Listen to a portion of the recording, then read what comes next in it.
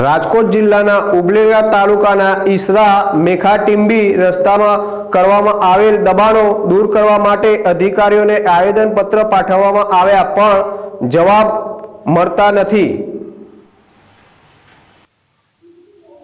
ઉપલેટાના ઈસરા ગામના ખાતેદાર ખેડૂતોની સિંહની જમીનો ઈસરા મેખાટીંબી રસ્તાના કાંઠે આવેલ હોય અને ખેડૂતોને સિંહની જમીનોમાં હાલવા ચાલવા ગાડા કડેરા વાહનો વગેરે ખેત ઓજારો લાવવા લઈ જવાનો એકમાત્ર રસ્તો હોય, આદો કદમી વખતથી ઉપયોગ કરાય છે. રસ્તો તેત્રીસ ફૂટ પહોળાઈનો આવેલ હતો, પરંતુ આ રસ્તાની પૂર્વ તરફથી ઘણા ખેતર આવેલ છે.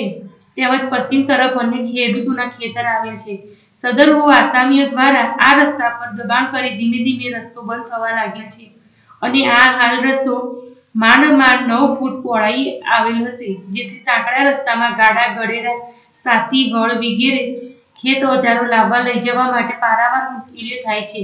જેથી આ કામના રસ્તાઓની બંને બાજુએ કરવામાં આવેલ પેશકદમી દૂર કરવા માટે આ અગાઉ મામલતદાર કચેરી ખાતે અરજી લેખિત રજૂઆત કરી હતી. પણ હાલ પરિસ્થિતિ એમની એમ જ છે. જેથી જે પેશકદમી કરનાર પર યોગ્ય પગલાં લઈ આ પેશકદમી દૂર કરવા તથા આ સાંકડો રસ્તો હોય અને આ રસ્તો પહોળો કરવાની માંગ સાથે ખેડૂતો રસ્તા પર બેસી ગયા હતા. કાનભાઈ સુવા સાથે જેડેશ ટીવી ઉપલેટા. હતા ગામ મિશ્રા તાલુકો ઉપલેડા અમારો પ્રશ્ન એ છે કે ઈસરાથી મેઘાટીપી જવાવાળો રસ્તો તેત્રીસ ફૂટનો રાજમાર્ગ છે.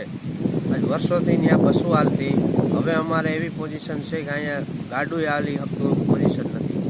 હવે અમારે શું કરવું? અમે વર્ષોથી મામલતદારને અરજી કરી છે, કોઈ જવાબ દેતું નથી. અઠ્યાસી અઠ્યાસીની સાલમાં અરજી કરેલી, પણ તેની માપણી થઈ અને પૈસા મામલતદારને મળી ગયા એટલે કોઈએ કાંઈ ધ્યાન દીધું નહીં. હવે અમારે હાર્વેસ્ટર લઈ જવું બહુ તકલીફ છે.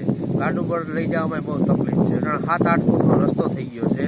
અમે બહુ અપીલ કરી હવે ખેડૂતે જેને દબાવ્યું છે એ લોકો એ રાજી છે કે અમે માપણી કરી દો એટલે અમે કાઢવા તૈયાર છે. જે કંઈ હોય છે એ રસ્તો. ખેડૂતને ફૂલ અમ- અમારી એવડી વિનંતી છે કે જેમ મને વહેલી તકે આ રસ્તો કરી દઈએ.